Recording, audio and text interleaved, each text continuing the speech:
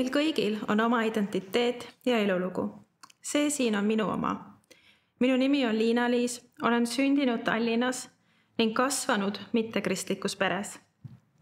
olen lõpetanud Tallinna Tehnikaülikoolis logistika bakalaureuse ja õpin täna kõrgemas usuteaduslikus seminaris vabakiriklikku teoloogiat ja juhtimist. töötan rahvusvahelises tootmisettevõttes arendusprojektide juhina, kus toetan tarneahela üksuse tiime erinevate rakenduste loomises ja protsesside parendamises. olen 3D koguduse liige ning teenin koguduses kaasa peamiselt õpetustiimis ja programmitiimis. see siin aga räägib loo Jeesuse eluloost ja identiteedist.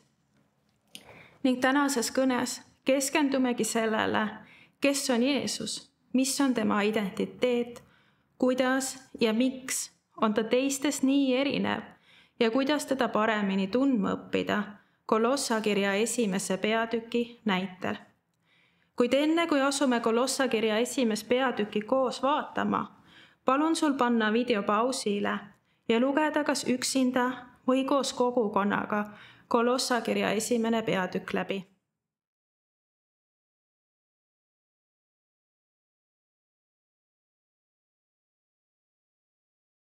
Paulus kirjutas selle kirja Kolossa kogudusele, et julgustada neid suht noort kogudust jätkama Kristuse tões elamist ning vastu seisma väljaspoolt tulevatele religioossetele mõjutustele ning valeõpetustele. tegemist on kogudusega, mida Paulus ise ei rajanud.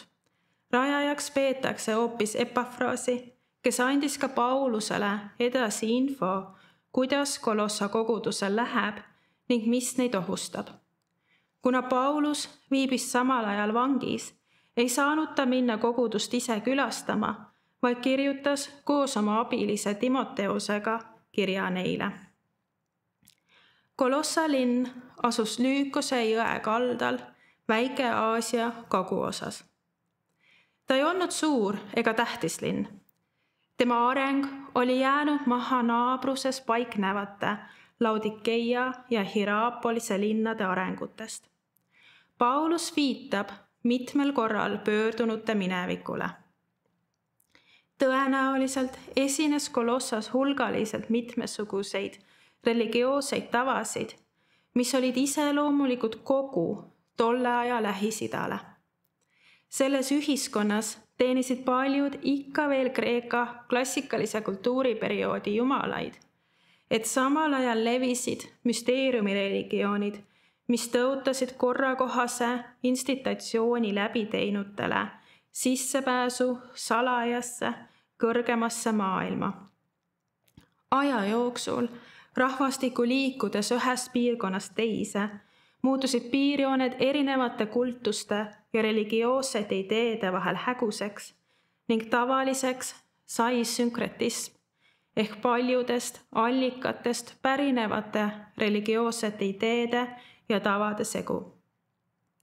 Pole siis imestada, et Kolossa koguduses valitses segadus, et mida uskuda ja mida mitte ning et Paulus otsustas neid selles osas aidata ning selgitada, kes on Jeesus ja miks just tema on see, kellesse nad peaksid oma usu rajama. kuid enne kui asume Kolossa esimest peatüki sisu koos lähemalt vaatama, räägin paari sõnaga kirja formaadist üleüldiselt. kirjade kirjutamine nõudis tolle aja ühiskonnas väga palju ressursse ja raha. kui täna oskab suur osa arenenud riikide elanikest lugeda ja kirjutada ning me oleme harjunud saatma teineteisele emaile või sõnumeid paari minutiga või isegi paari sekundiga, siis esimesel sajandil enamus inimesi ei osanud kirjutada ega lugeda, mistõttu kirjade kirjutamine oli pigem haruldane, vajas korralikku läbimõtlemist ning nad olid mõeldud rahvale ettelugemiseks. kuna kirjade kirjutamine nõudis palju tööd, siis see näitas ka selgelt seda, kui palju Paulus hoolis neist, kellele ta kirjutas. ning kui palju läks talle korda Kolossa koguduse käekäik ning nende väljakutsed, mis sest, et ta neid kunagi külastanud ei olnud ega ise seda kogudust ei rajanud. kirjadel oli enamasti kindel, formaat. Nad algasid tervituslausega, mis tõi välja selle, kes kirja kirjutas ning kellele ta on suunatud.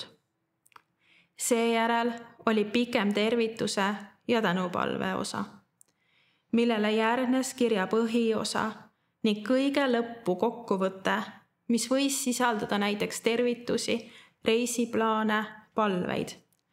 kuna kirjad, see enamasti, sealhulgas ka Kolossa kiri, oli kirjutatud kindlale kogudusele või inimestele on oluline kirja lugemisel arvesse võtta konteksti, tolle aja ühiskonda ning seda, et see kiri oli mõeldud rahvale ettelugemiseks. kuid asume siis Kolossa kirja esimest peatükki koos vaatama. Paulus alustab oma kirja tervitusega endale ning Timo, en, tervitusega enda ning Timoteuse nimel ning tänab Kolossa koguduse eest. Paulus oli suur julgustaja ning enamasti alustas oma kirju alati tänu ja julgustusega. võttes arvesse seda, et kiri on kirjutatud vanglas olles ning kui palju Paulus evangeeliumi jagamise pärast kannatama on pidanud, on eriti märkimisväärne tema positiivne ning elujaatav hoiak. selline suhtumine on võimalik üksnes tänu Jeesusele ja tema isiklikule tundmisele Jeesus on see, kes täidab meid rõõmu, rahu ja armastusega ka siis, kui kõik muu tundub olevat meie vastu. lisaks julgustajale oli Paulus ka tugev eestpalvetaja. ta annab neile teada, et nad on Kolossa koguduse ees palju palvetanud ning ta palvetab, et Kolossa kogudus kasvaks usus, vaimulikus küpsuses tõeline Jeesuse tundmine ja tema usaldamine aitab vastu seista rünnakutele ja valeõpetustele ning aitab usule kindlaks jääda ka rasketel hetkedel. selleks, et me saaksime kedagi usaldada, me peame tundma selle inimese isiksust, tausta ning seda, kui palju ta meist hoolib kolme kassi omanikuna olen ma pidanud aastate jooksul palju tegelema enda loomade tervistega. Neis kahel korral on olnud see võitlus elu ja surmaga. kuid kogu selle aja on mul olnud üks kindel loomaarst, keda ma olen aastatega õppinud usaldama täielikult. sest ma olen näinud ja kogenud, kui tema, kui palju ta hoolib mu loomadest, kui pühendunud ta on ja ma tean ta tausta ning ma tunnen igal sammul, et ma saan usaldada oma loomade heaolu ja tervise tema kätte. mistõttu on ka kõige riskantsemate operatsioonide ja otsuste juures olnud mul sügav rahu ja teadmine, et selle inimese kätte ma olen valmis usaldama enda loomade elu. see usaldus ja suhe ei ole tulnud üleöö, vaid on tulnud läbi raskete otsuste, vestluste ning pikaaegse, aastaid kestva koostöö ja teineteise tundmaõppimise tulemusena. nii on meil lood ka Jeesusega. me õpime teda usaldama vaid läbi tema jaoks aja võtmise, tema tundmaõppimise ja väikeste sammude haaval otsustamise, otsustamise üleandmise, et näha, kuidas ta meid sellest kõigest läbi kannab mu elus on olnud mitmeid selliseid momente, kus ma olen tundnud Jeesuse ligiolu ja tema kõnetust väga selgesti ning kus ma olen seda ka väga-väga igatsenud. ning jagan teile ühest sellisest erilisest momendist. see oli kahekümne kuuendal detsembril kaks tuhat kakskümmend kolm, kui olin oma vaimse tervisega jõudnud väga madalasse kohta ning kus depressioon võttis võimust. ma küsisin endalt ja Jumalalt, mis on selle kõige mõte ning kas on üldse kedagi, kellele ma korda lähen. ma mäletan seda, et ma istusin põrandal küünlavalges ja lihtsalt valasin enda emotsioonid Jumalale välja. korraga aga ma tundsin nii se suurt selgust, et ma pean püsti tõusma, haarama laualt väikese lõuendi ja rasvakreedid ning joonistama sinna kaks südant ja kirjutama Jeesus armastab mind. see on see joonistus, mida ma tollel hetkel tegin. Olin lõuendi ja rasvakreedid ostnud täiesti emotsiooni ostuna nädal enne. panin selle kodus töölau-, olen pannud selle kodus töölaual enda ekraani juurde, et ma näeksin seda pidevalt ja tuletaksin endale meelde, kui läheb keeruliseks, et Jeesus on see, kes kannab mind läbi ja et tema peale saan ma panna alati oma lootuse ja usu. kuid kes on siis Jeesus, kellest nii mina kui ka Paulus räägime? Salmides viisteist kuni kakskümmend on kirjas. tema nähtamatu Jumala kuju, kogu loodu esmasündinu, sest tema läbi on loodud kõik, mis on taevais ja ta maa peal, mis on nähtav ja nähtamatu, olgu troonid või ülemused olgu valitsused või meelevallad. kõik on loodud tema läbi ja tema poole. tema ise on ennekõike ja kõik püsib koos temas ja ta on oma ihu koguduse pea. tema on algus esmasündinu surnuist, et ta kõigest saaks esimeseks, sest Jumalal on olnud hea meel lasta kogu täiusel temas elada ja lepitada tema läbi enesega kõik, nii hästi maapealsed kui taevalised, tehes rahu tema ristivere läbi. Jeesus on Jumala poeg, kes tuli siia maailma täiusliku inimese kujul, et anda täiuslik ohver kogu inimkonna eksimuste eest, et kõik, kes temasse usuvad, võiksid olla õigeks mõistetud ja suhtes Jumalaga. Jeesus on uks meie ja Jumala vahel. selle lepingu märgiks andis ta oma elu ristil ning tõusis kolm päeva hiljem surnuist üles. sellega näitas ta oma jumalikkust ja võimu patu ja surma üle. ta võeti üles taevasse, kus ta valitseb kogu loodu kuningana. Jeesus on lubanud teist korda naaseda maa peale ning kogu kristlaskond ootab tema tagasitulekut. Jeesus on täiuslik inimene, kes elas ilma patuta ja samas on ta ka täiuslik Jumal. salmides viisteist kuni kakskümmend toob Paulus välja, et Jeesus on nähtamatu Jumala kuju, kelle läbi on meil Jumalaga lepitus Paulus kasutab siin kuju kohta kreekakeelset sõna eikon, mis on oma, mis oma sisult tähendab midagi, mis on nagu peegelpilt või prototüüp. ta ei ole natuke sarnane, vaid on copy-paste. Paulus rõhutab siin, et kui me näeme ja teame, kes on Jeesus, siis teame ka seda, kes on Jumal. Jeesus oma karakteris ja isikus on täielik Jumala kehastus. mida rohkem me õpime tundma Jeesust, seda rohkem me õpime tundma ka Jumalat. Paulus toob välja ka selle, et Jeesus on kogu loodu esmasündinu. esmasündinu ehk kreeka keeles prototokos tähendab nii esimesena sündinud, kuid enamasti tähendab see esimest staatuse järgi.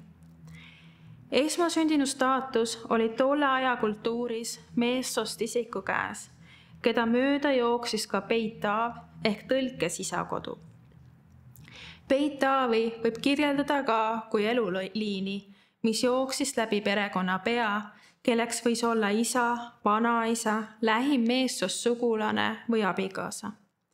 perekonnapea ülesanne oli tagada, et kõik sinu vajadused saaksid täidetud ning see andis sulle kuulumise ja identiteedi kui sa olid peit Taavi alt väljas, siis sa olid tolle aja ühiskonna mõttes mitte keegi. Jeesus ütleb Johannese evangeeliumis. minu isa majas on palju eluasemeid. kui see nõnda ei oleks, kas ma siis oleksin teile öelnud, et ma lähen teile aset valmistama? ja kui ma olen läinud ja teile aseme valmistanud, tulen ma jälle tagasi ja võtan teid kaasa enese juurde, et teiegi oleksite seal, kus, kus olen mina. ja kuhu ma lähen, sinna te teate teed. Jeesus on see, kes annab meile eluliini. tema on see, kes täidab meie vajadused ja annab meile meie kuulumise kui me oleme Jeesuse enda ellu vastu võtnud, siis me oleme liidetud Jumala perekonnaga. Me saame endale isa ja juhi, kes ei jäta meid kunagi maha. salmides kakskümmend üks kuni kakskümmend üheksa keskendub Paulus sellele, mida tähendab see kõik Kolossa koguduse jaoks. ta õhutab kogudust jääma kindlaks usule, Jeesusesse Kristusesse ning räägib lähemalt enda osast Kristuse tööst kuid see võib tekkida küsimus, et mida see kõik siis tähendab meie jaoks tänapäeval? Meid ümbritsevad igapäevaselt väga suur hulk erinevaid tõekspidamisi ja õpetusi. Te saate neist lähemalt kuulda järgmine nädal, kui Meego Remmel räägib Kolossa koguduses leiduvatest eksiõpetustest. kuid teadmine, kes on Jeesus ja tema enda ellu vastuvõtmine aitab meil ära tunda, mis on õige ja mis on vale ning jääda enda usule kindlaks. Kuid kuidas me saaksime siis õppida Jeesust veelgi paremini tundma? selleks ma annan teile kolm juhtnööri. esiteks, võta Jeesuse jaoks regulaarset aega.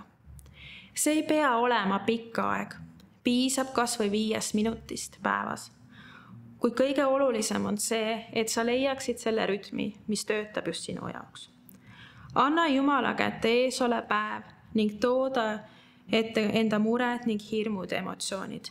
Jeesus tahab olla kaasatud meie igapäeva tegemistesse, igapäeva rõõmudesse ja muredesse. Teis-, teiseks, õpi tundma Jumala sõna ehk piiblit.